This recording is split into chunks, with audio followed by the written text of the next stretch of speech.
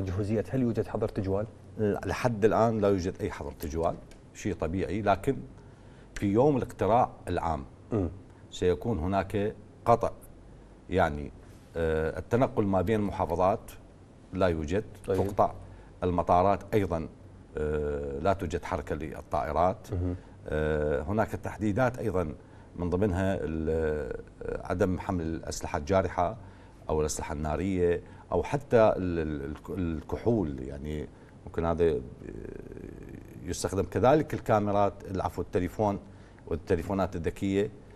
هذه كلها آه، محددات. ولهذا أقدر أقول لك إنه التزوير في هذه الانتخابات قد. قطع وأصبح صعب جدا جدا. طيب إذا كنت اعمل بغير محافظة وأنا من بغداد وأريد أجي أنتخب أقدر أدخل بغداد؟ لو نهائيا أي دخول لبغداد ما أي دخول ماكو لبغداد.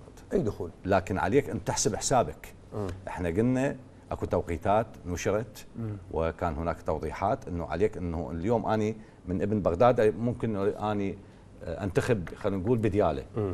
لازم أني أحسب حسابي أروح قبل يوم. أطلع قبل يوم طيب. وادي الاستمارات اللي توزعت للصحفيين والإعلاميين نقدر نتجول بها خارج بغداد؟ لو فقط داخل بغداد.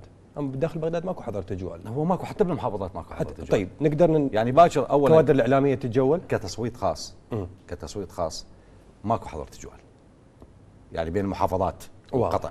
مثل ما قال آه، الدكتور إنه الأهم يعني راح يكون عندنا التصويت العام بالعام أقدر يتنقل الصحفي حسب ما أعطيتونا الباجات الباجات هذه هناك منتقل. توجيهات م. دقيقة وواضحة من الأعلى سلم القيادة العسكرية م. من السيد القائد العام من قيادة العمليات من كل قيادات تسهيل عمل الإعلاميين وسيكون آه، حقيقة آه، هناك تسهيلات كبيرة للإعلاميين لماذا الإعلام هو السلطة الرابعة وهو شريك للقوات الأمنية وأعتقد تواجد الإعلاميين ونقلهم لما يجري طيب. هو رسالة إعلامية مطمئنة للعالم أجمع. اذا من حق الإعلاميين. تجول بهذا اليوم تحديدا نعم. حسب آه، الواجبات المكلفين بهم. أعود للمفوضية يعني ما علاقة الصمت الانتخابي وبين آه، خلينا نقول بنود وثيقة السلوك الانتخابي؟ شنو الفرق بينهم؟ مدونة السلوك الانتخابي اللي تقصد بها اللي أعلن عليها السيد رئيس الجمهورية. بالضبط.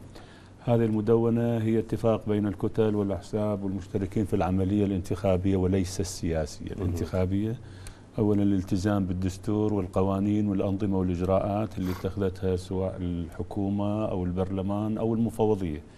وبذلك على الجميع أن يقبل بمخرجات العملية الانتخابية ويلتزم التداول السلمي للسلطة. إضافة إلى هذا بالنسبة للصمت الانتخابي هو الإيقاف عن كل أنواع عمليات الدعاية الانتخابية.